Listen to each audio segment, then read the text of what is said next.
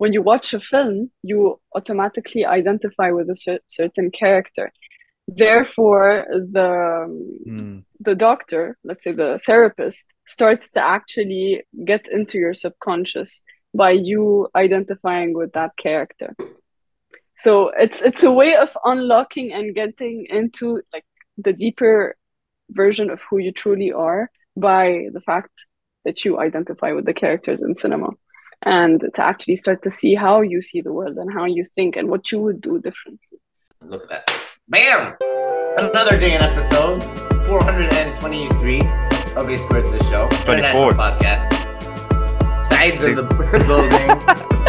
uh, Hala Kouch, uh, pleasure to have you on the show. Thank you so much for your time. Uh, Thank Hala's you. um, uh, an independent filmmaker, but also an acclaimed filmmaker who's won some awards. She's Lebanese and um, she teaches film. And do you want to tell us a little bit more about you and your background? Of course. So I'm a Lebanese film director and photographer. As you previously mentioned, I am um, internationally recognized, awarded as a photographer and filmmaker. Um, I first started doing fiction films, and then I like deviated into docu- the documentary world, and now I'm turning back into fiction for another film, and like I film is a huge part of my life and it's what keeps me sane because I just keep creating like everything around me um, that actually causes pain or frustration is actually conveyed through my art. That's ca- that's how we go to like why I'm into cinema therapy.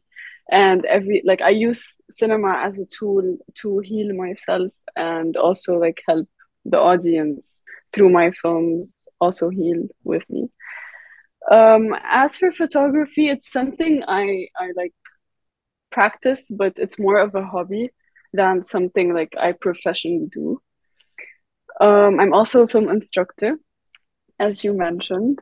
I love teaching. I love sharing my knowledge. I love seeing people actually use um, any form of art for like self-expression and not just like for like a source of entertainment. And I'm also a voiceover artist sometimes. And I'm a writer. Like I'm I'm I'm a poet, but no one like some people know me for for Hala and Mhm. others Yeah. know me for like my other persona. That's Divino, Mhm. the writer. That's that's a lot of roles that Yeah. you're doing. You're partaking in, to be honest. Um, Yeah. the so you mentioned also cinema therapy. Could you ex like explain what's the concept behind that? Like what exactly does it do and who does it who is it in- targeted for? Well, cinema therapy is almost for anyone um, what's really special about cinema therapy is the fact that rather like you know how we as humans tend to um when like we put up these walls we don't like ourselves. because exactly and we put up these walls because we can't it's hard for us to actually go through whatever trauma happened in our past or in our present or any problem etc so when you have a hard time expressing yourself and you go to a stranger who's your therapist for the first time and he or she is a professional um, they tend to use cinema therapy as a tool for you to open up. Because and how? When you watch a film you automatically identify with a cer- certain character. Therefore the Mm, the doctor let's say the therapist starts to actually get into your subconscious by you identifying with that character so it's it's a way of unlocking and getting into like the deeper version of who you truly are by the fact that you identify with the characters in cinema. And to actually start to see how you see the world and how you think and what you would do differently.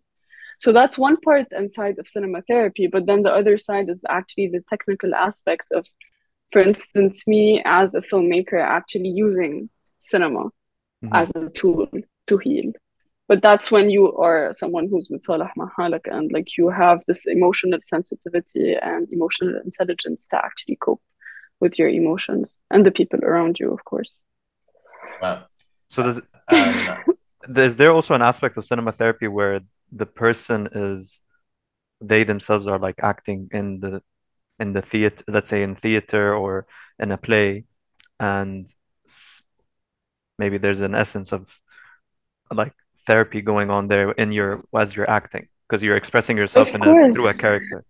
Of course, of course, of course. It goes over. There's like something called drama therapy, and that has to do with what you're saying right now. Okay. So, you, if you like different forms of art therapy, I don't like. I don't want to talk about something I don't know about, but like I'm sure it exists. I know drama therapy exists. So as cinema therapy. Yeah, and so we've interviewed someone who's a drama therapist, and yes, he comes in, gets people punching and screaming and pretending they're hitting their parents and stuff like that. So, but what you're describing cinema therapy, it sounds a little bit like brainwashing to me. You know, that's what you're describing. Mm, it's like, mm.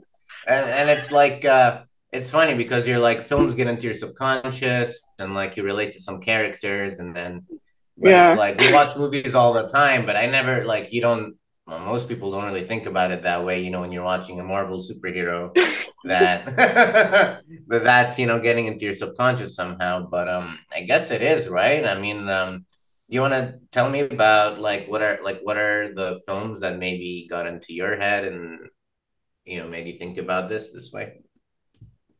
I think our brains work in mysterious ways, and they work in ways we cannot even fathom or ever understand.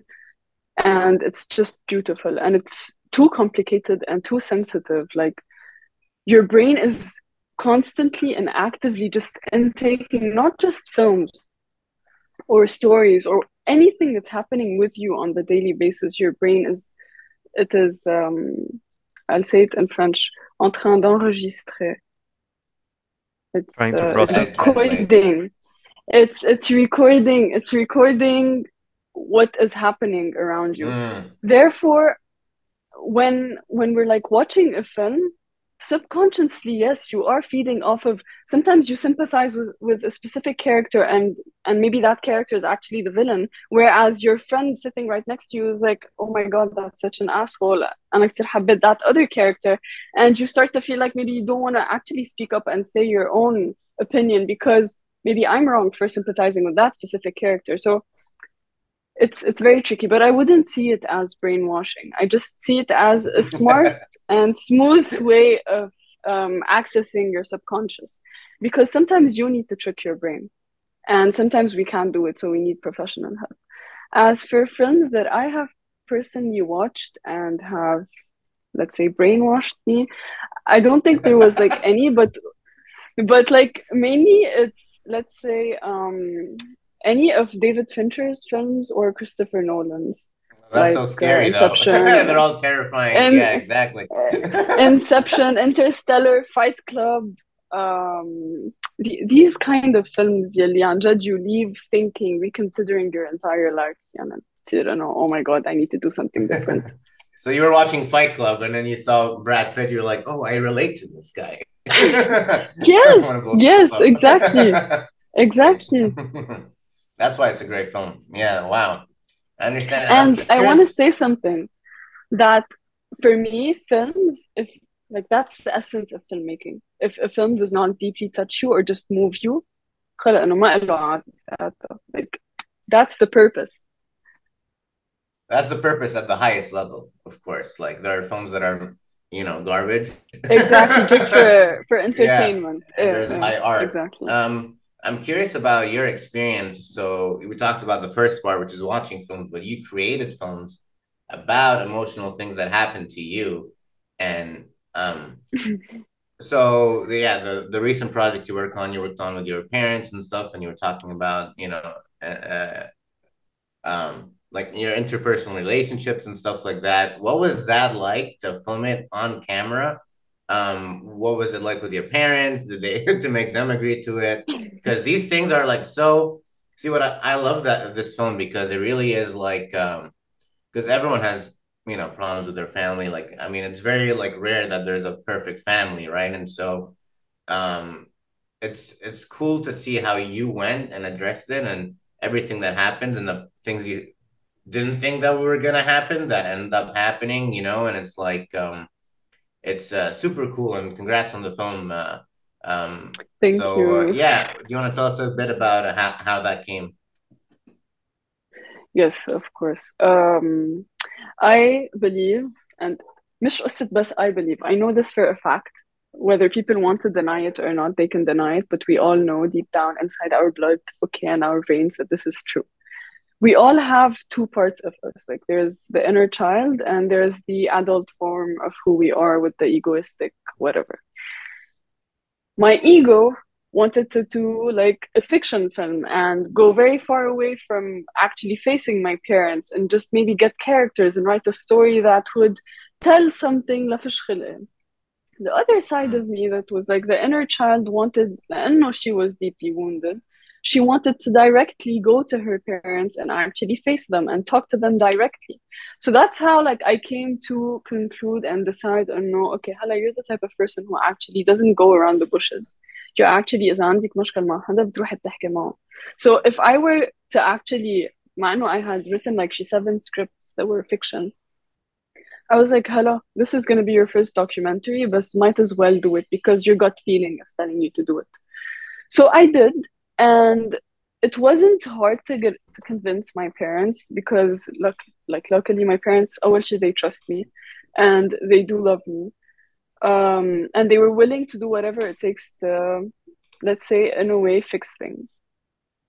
Out of it, so we the convincing part was not an issue, but the entire process of this film was what was traumatizing.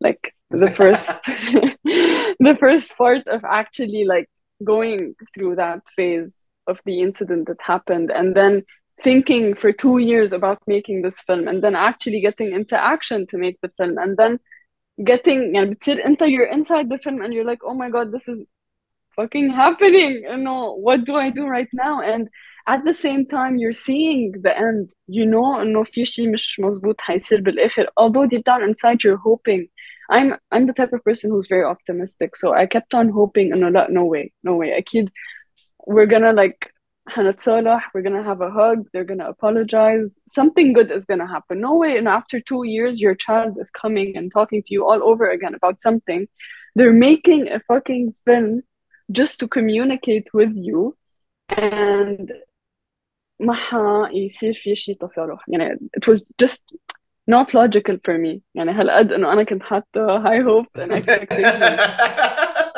and then and then shit happened and then everything got fucked up.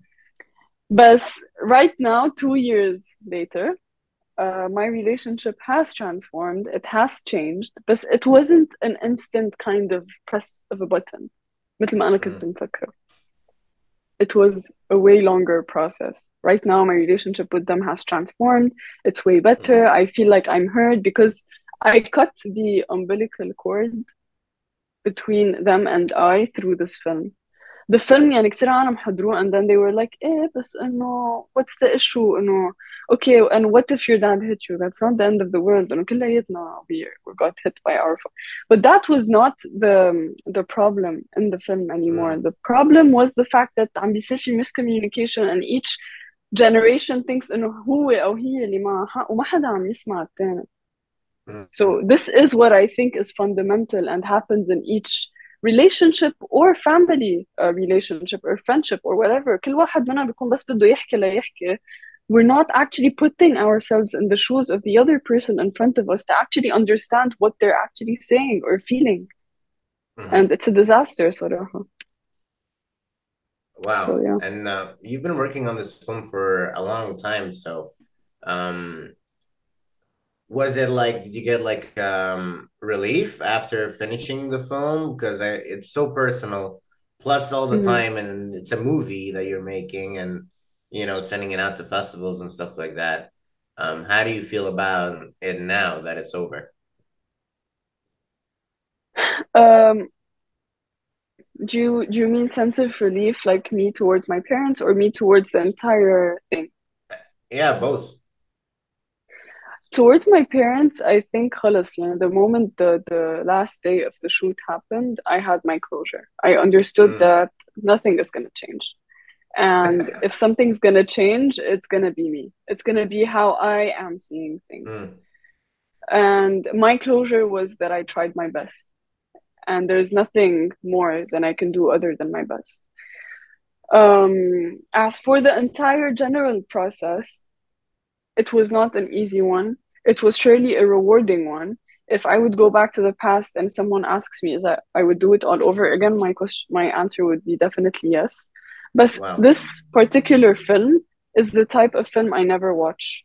Yeah, I did it and I just watch it. I'm serious. I just watch it from festival to festival if I have to. وإذا مش مضطرة أكون بالسكرينينج ما بكون بالسكرينينج لأنه each time I see it يعني let's say هلا صار له four years هذا الشيء كله صاير each time I watch it it's as if it still happened يعني I cannot deny this it's still very painful but it does not mean that I did not move on or I did not forgive Blackus. It's the total opposite. But it still does hurt.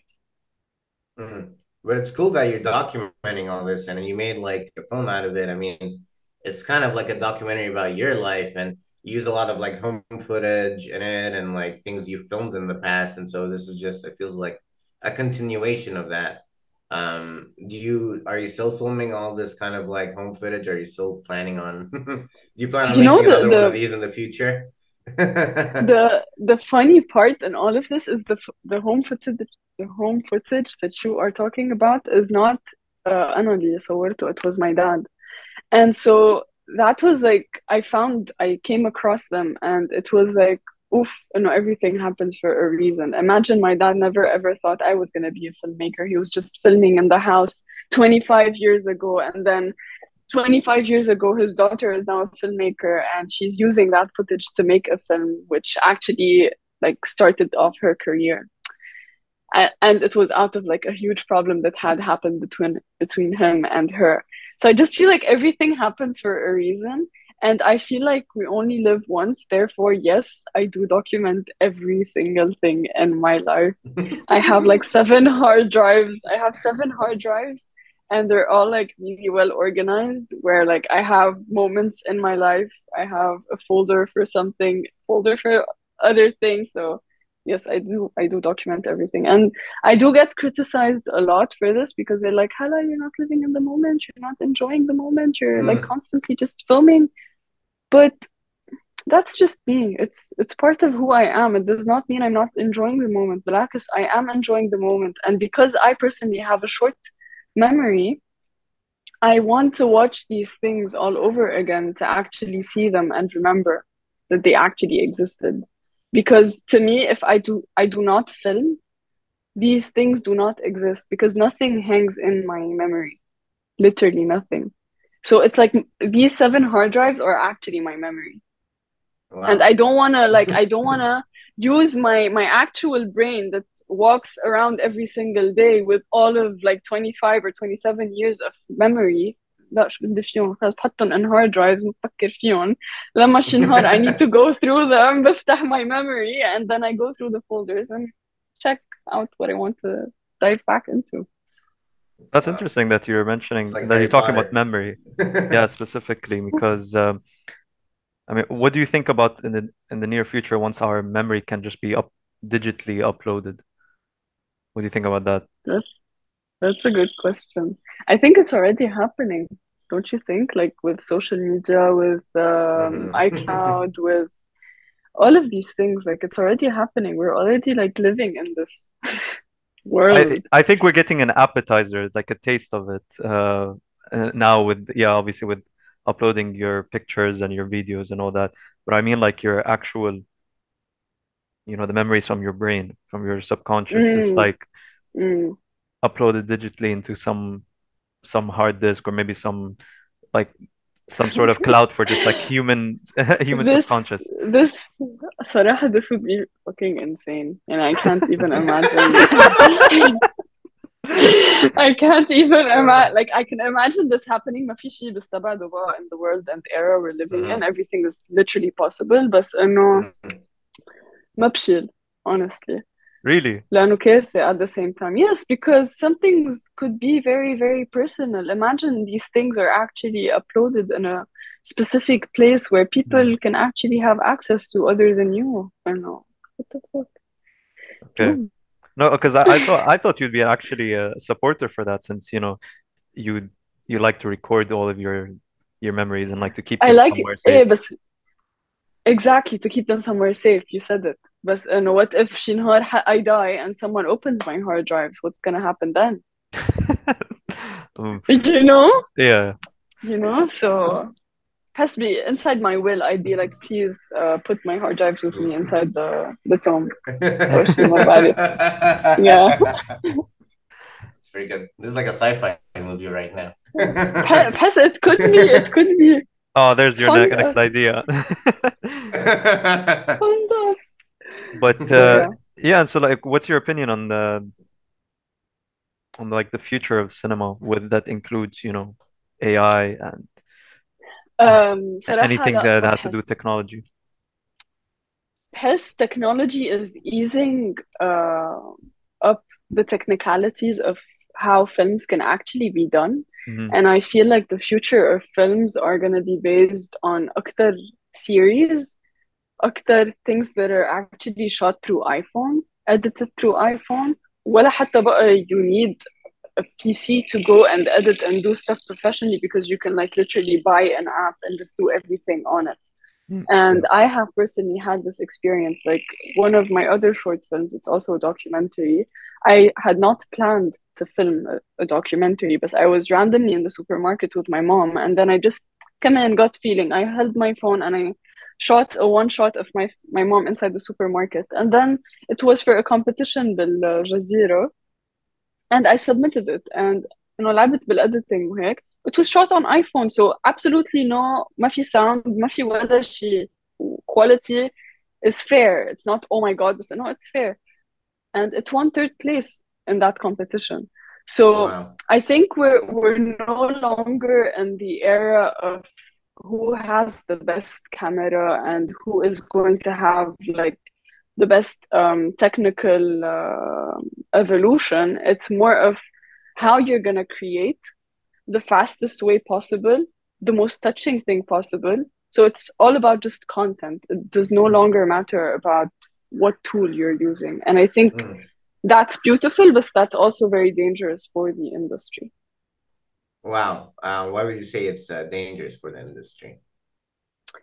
Because بحس انه خلص يعني عشوائي بتبطل تروح على السينماز يعني there, yeah. there's no use انت you can watch everything off of Netflix off of your phone off of anything that's يعني نحن هلا كتير صار في drop اصلا in like cinema كتير قليل الواحد بقى يقول oh my god كتير عبالي يروح على السينما السينما صاروا اصلا بعيدا عن just COVID يعني أنا في مرة صارت معي دقات they were like sorry ما حنفتح unless في at least five or six people who are inside the cinema so so إيه it's it's sad it's sad like ما بعرف بحس the future is كل واحد حيفتح cinema inside his own house يمكن through his phone and the mini screen or I don't know I mean maybe that's a an idea also for like you know the cinema industry to change the their product instead of create, building you know these massive cinemas and taking so much space inside malls and you know outside yeah. space they can just mi- minimize it and like sell it to people in their homes yeah like Honestly, they have to adapt لأنه like I think we are a generation خاصة our generation حتى the generation that's even هلا the the newcomers يعني the younger younger generation كتير we're like throw anything at us and we adapt so easily. Yeah. You know, it's كتير the, the trendy type of generation. It's good and it's bad at the same time because the when trends come in, you start to lose your identity. And this is something that's عن كتير happening. يعني most of people are losing their identities because they're just following trends and no one is actually focusing on who they are, what their voice is, what they look like, what they want. خلص كلياتنا sheep just following this consumeristic uh, wave of انه يلا trends trends trends so so on the on that point what would your advice be for people who are trying to find their identity like they're trying to you know stay like they're trying to stay with the trends but at the same time understand who they are um I would say no one is going to come and tell you to believe in yourself. And I would say it's going to be the loneliest journey on earth. But it would highly, highly, highly, highly, highly, highly pay off because Anjad, no one's gonna believe in you but yourself. And everyone's gonna want to bring you down. Especially sometimes it's people from family, sometimes it's your closest friends, sometimes it's anyone around you. No one wants to see you good. No one wants to see you cry. No one wants to see all the hardship you've gone through. أنا ثلاث أرباع people think إنه هلا you're so lucky. Man, أنا I had I had no social life and I still have no social life. It's a choice I took in order to get to where I am right now and I'm happy about it. Do I feel sad sometimes? Do I feel lonely sometimes? Yes, but I'd rather be in my lonely world, let's say, بس مرتاحة. I have inner peace and confidence because I believe in everything I am achieving. It's for a bigger purpose and a bigger goal. So I think you need to believe in yourself and you need to begin with the end in your mind. Yani you need to keep the end vision and the end goal in your mind so you personally keep pushing yourself every single day to achieve hey the vision that you have in your mind. And no one, no one is gonna come and tell you, hey, you have potential, do that. La, la, la, la. Everyone بالعكس, they're gonna be like, no, this is impossible, you can't do this. هبلة أنت معقول you think you're gonna get to the Oscars? Oh my god, who the fuck do you think you are? Everyone's gonna do that. Because everyone, trust me, is in a race. There's this constant hunger for fame and success. So it's like a rat race. مين حيسبق التاني أكتر. So it's about what you do with your time. Like use your time wisely. You only live once. بكره نحن هلا يمكن بعيد الشر نقرط موتة انه what have you done ساعتها with your life are you using it to the fullest to actually achieve whatever you are setting your mind to you know it's all on you don't blame your circumstances صراحة كل هول بدهم اياهم لهول العالم getting pretty deep Khala. this is like um, no you're you're so right about that but no, everything you said I feel like one day this is gonna no. be part of your future documentary. You're gonna come back and take clips from this podcast. It's like she just comes back Maybe. to all these. Like, what have you done? What have you done? Guys, I need to. You guys, you guys are an example. يعني هذيك المرة إنه okay, we slightly met, blah blah blah. I asked إنه ليه? You guys explained إنه you're doing this right before work, so you're actually you have time, but you're even creating time when there's no time to do something you love, and it is paying off. حتى لو maybe it's slow progress but it's meaningful progress it's not about how fast we're gonna get there بالعكس you guys are building something very solid one step at a time and that is what is sustainable مش the fast progress of يلا ليلة وضحاها it does not happen that way everyone is so no hey I want to be famous hey I want to be a millionaire bro what are you doing about it please tell me what you do in your daily life what's your discipline بقول لك ايه اليوم I have a party اليوم ما بعرف منهار اليوم لا ما بعرف do something do something yeah. I'm sorry mm-hmm. I think uh, COVID had a lot to do with like change like I think ruining everything a little bit I feel like people were trapped in their homes a little isolated um they were sitting down all day like all the bad habits came in and now we're post COVID but it's still like people are still stuck a little bit in that COVID uh, mm-hmm. mindset and um yeah but you guys uh, mentioned something time. you mentioned like the power of actually adapting to change and okay mm. now we're two years past covid but yalla no okay this is our new life we're no longer going to go back to the other this is the new reality ما فينا نضل ناطرين او like uh, romanticizing the past this is our new re reality so ما بقى to waste time انه خلص what what yeah. are we doing now how are we going to start with this new life yeah Ali, I don't think it's fair to just blame covid anymore because like as we were saying عن جد two years يعني هلا بهالسنه خلص خلصت years انه not, not only yeah. that uh, Hala, you also mentioned like this is we are the people of like adapt adaptation we we adapt human beings in general they adapt and mm. I mean Ali come on the podcast started in COVID so there's there's also an example right there like you don't you don't let the bad habits just like sink in because the bad habits will always come around whether there's covid or there's anything else there's always an excuse that's just going to stick there exactly. and you're going to exactly. make it up for yourself. And something i wanted to tie to before you so you mentioned two things it's like fear of loneliness. And there was a point before that which i can't really ver- uh, like say say in one sentence but i feel like those fears that that specific fear of uh, loneliness kind of affects your you're pushed to becoming to making something out of yourself you know to finding your identity. Mm, yeah that mm, was yeah you were talking about the identity and fear of loneliness. These two i feel like are kind of like in one they work together in like harming a person mm, because when people are trying to seek out who they are like for example when you said you don't have a social life but you have inner peace because you you find that you found out who you are um you pushed away that fear of loneliness okay sometimes mm. you might feel it but you don't have the fear of it anymore while most people Yeah, they have that true. fear because they still want to they go with the trends just so that they can feel like you know they're part of the community. They belong to a certain exactly.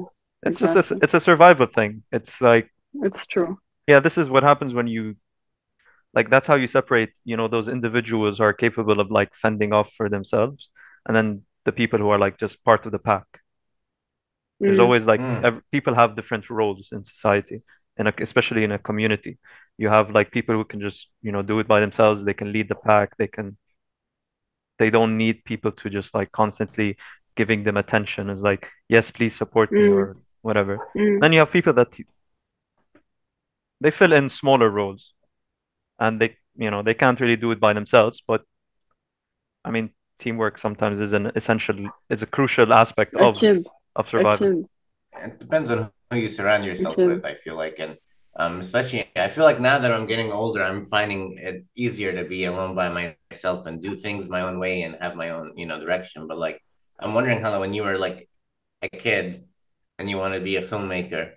I mean, I remember when I was a kid and I want to be a filmmaker, everyone would be like, oh, what do you think? Your name is Ali. You're going to go to LA and make movies? That's impossible." uh, and then, uh, um, and I heard that a lot, but then you know, I don't know why I was crazy enough to just end up trying it. But um, I don't know what happened to you. How was like uh, when when were the first signs that you wanted to be a filmmaker? Did you always want to be a filmmaker, and uh, how did people react to that? صراحة okay I'm gonna في شيء قالوا um, Saeed I Jamal. سعيد uh, that I want to clarify. I don't want to come off and give the impression and no, I have everything figured out and I يابا Yeah. خلص I know myself وبلا بلا بلا لا لأنه صحيح I've okay accomplished all of this and everything we've like discussed and I am someone who's very confident etc etc بس إنه ما حدا بيعرف حاله fully يعني I don't know that my next film right now my feature film is about me عن جد discovering the path I want because it might not be cinema and I I still do not feel like I belong anywhere and I'm still searching like cinema does not fulfill my insides it keeps me sane it, it's it's a beautiful thing that I find my voice in but it no longer fulfills me from the inside I'm trying to find another form of happiness يمكن كون أنا ما بعرف مزارعة بعدين يمكن wait wait wait so كون you're saying that you're طباخة gonna stop cinema like we never or... know Anna Anna, no, Anna, my, Anna uh, my like I said this when I first started uh, filmmaking and I came into the industry okay. Um, I was like I'm gonna make only one feature film and I would quit the major Oof. because I believe and this is a statement that my second persona, Divina Hell, says, and a cinema is a lifestyle that can cost one his life and I truly believe it so أنا بالنسبة لي I just want to do one feature film and then بشوف بعدين شو بيصير بس إنه eh, I don't want cinema to be my entire life because it, it could be very toxic now going back to how I got into this major uh, honestly I had I had a different uh, scenario than you Ali I wanted Mm. to major in graphic design and my dad um, had got me an iPad أول ما طلعوا الآيبادز وهيك كنت بعدني مخرجة البروفي with my it was my gift ويا لطيف so I started taking a lot of pictures with my iPad and then my dad because he's an artist he had this vision in me إنه lately there's this new major it's called audiovisual إنه why don't you like search about it قدمي فيها وهيك أنا كتير بحس يمكن إنه عن جد يمشي حالك I don't know what is this I used to only watch like horror films and then like i started like researching and stuff and then i applied and then i got accepted and then i, I discovered and okay i was good at it and then it just happened. So no i it, it's a just very different story than uh, ali's. But uh, you know, oh, wow. on my way to doing it on my way to doing it can feel a lot of bullying can feel a lot of you know you'd never be good at whatever you're doing can feel no i didn't start off as good. I had to prove myself um, through that uh, journey. Also, wow. like uh, I'm uh, imagining like it couldn't have been easy, like living in a in an Arab country and being a woman wanting to do, you know, like becoming a director and making films. How how tough was it? صراحة or did you not see any obstacles? Eh, no no no no I have a very different uh, ليك أنا مع الفيمينيزم وكل شيء وهيك بس كمان منك إنه it ما فينا to deny إنه في in certain countries بلا أكيد في a lot of obstacles for you being a, a woman filmmaker وهيك بس إنه هون بلبنان صراحة لا I did not face it بالعكس إنه I have maybe my masculine let's say side uh, is very present and it's very dominant and serious and my films حرام يمكن my friends and people who work with me بيخافوا ما بعرف بس انه لانه خلص بكون انه I'm very determined I'm very serious I do not take no as an answer في شيء براسي I will achieve it no matter what if you tell me no I'm gonna go find a gazillion way and do it and show you and take pictures انه bro I did it بس انه لا I never faced any issues honestly حرام كلهم على سلامتهم it was very supportive very supportive لانه I'm a woman بالعكس it was even more supportive that's amazing. Yeah, and it's uh, beautiful because um, you know, Lebanon. Well, that's the beautiful thing about Lebanon. We really care about the arts and the crafts and the music and mm. entertainment and and the biggest filmmaker in Lebanon's uh, Nadine Labaki right now, who's you know exactly nominated for an Oscar, exactly. and her film's the best Lebanese film I'd say right now. And so it's like exactly it is like you have someone up there you're looking at and a great role, and model. it's a woman. Yeah, and she's a woman too. Yeah, exactly as much as I love Ziad Doueiri too, he's also been part of amazing films too. Honestly, I hate generalizing, you know, I hate generalizing and mm-hmm. everything, and especially when it comes to cinema. Like, Hatta, when someone asks me, "Hello, what's your favorite film?" and I can't, I can't tell you what's my favorite film because maybe I haven't watched my favorite film yet. I might tell you now what right now resonates with me, but يمكن tomorrow I'm gonna watch a film and it's gonna be my favorite film. You know, each film has its own backstory, its own content, its own كل You can't just say it's my favorite, you know? Yeah. So okay, then so, let's yeah. the, we can rephrase the question if you'd like. We well, I know we didn't ask it, but like we can rephrase it for you. Uh, which movie has made you like express your like your emotional side the most, or let out the most emotions while you're watching it?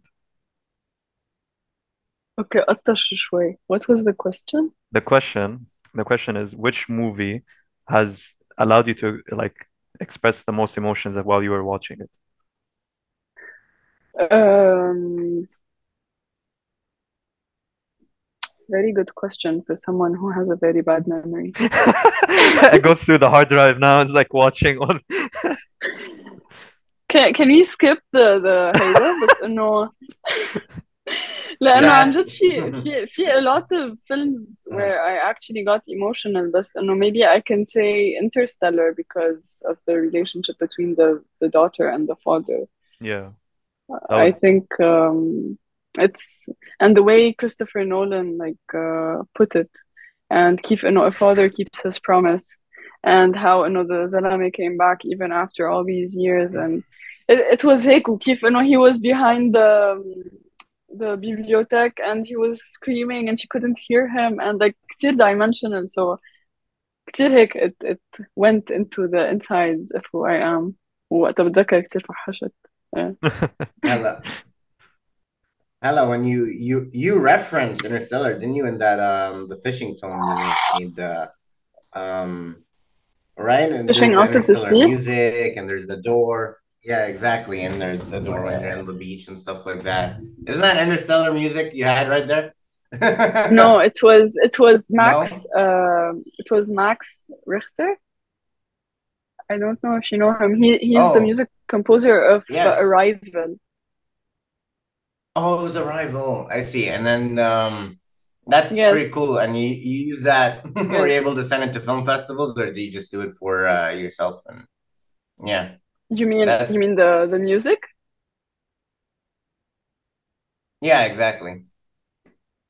Uh, no, Anna personally, I did talk to him. I can like I contacted their uh, their company because I keep them if you copyright so heck or you're not allowed to And I had told them انه I'm ايه انه I told them I, I'm a student وانه قد ايه would it cost for me to actually get the copyrights وبوقتها كان شي 900 دولار او ما بعرف هيك شيء so I was like I'm sorry you know I can't afford that 900 دولار بتذكر انه ايه وحرام انه هذا انه هن عملوا لي سعر مش انه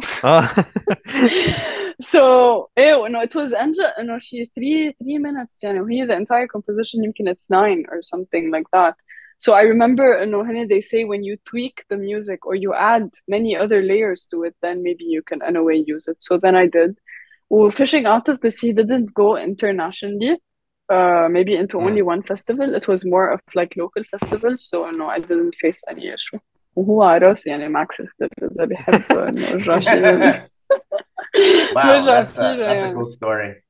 Mm-hmm. Yeah.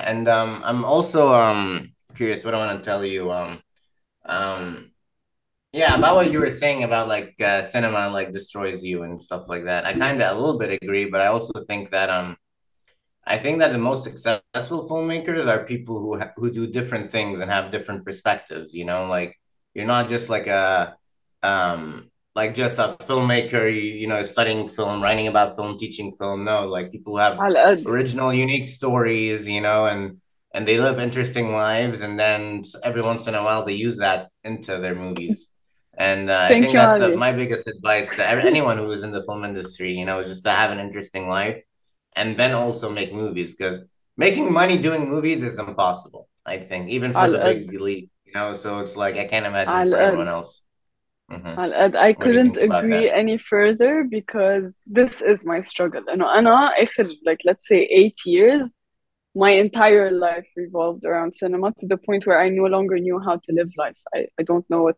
شو بعمل okay بروح بال, بال I, I can't even enjoy a camping. I can't enjoy a walk in nature. No, so this disconnection and actually living a healthy like outside life outside you know external life outside cinema is a huge must and what you also said of them leading different other things and then once every once in a while I'm تحس في this need of I need to talk about this specific topic because I have a specific vision on this specific topic then okay I'd make a film بس مش انه constantly making film so that's why انه I'm working I'm trying to find other things I might be good at the مش بس يكون my only source of artistic uh, outcome or freedom is fun mm-hmm. reason why كمان لأنه I, I needed let's say financial stability ما نكذب على بعض so I'm yeah, teaching totally. yeah yeah and um, how do you like teaching are you learning things from teaching are you learning from teaching that is it helping you out in films um, teaching is a very unique experience because you'll also keep learning in the process بتصير انت تعرف where are your gaps as a mm. filmmaker so then you start to keep like refreshing your mind your ما بتصد in a way your brain is constantly actively working because you are like, spreading this um, content with someone else and at the same time you learn a lot from your students sometimes their perspective on things starts to challenge you sometimes like you really get challenged by these new generation صراحة إنه their way of doing things is very fast and very smart at the same time. It's very uh, different to how we are programmed to doing things. Take your time be a perfectionist nah, nah, nah, nah, nah, nah, mm-hmm. plan everything. So that till now alhamdulillah it's very rewarding. Um that's amazing.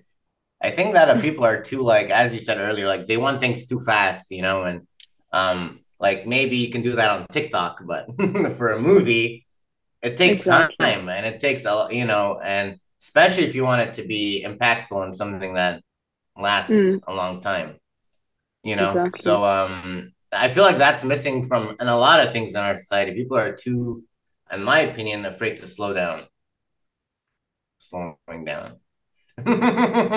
taking the time. This is this yeah. is so true. And this is like also part of my new film, like the feature film. في layers in this new feature film.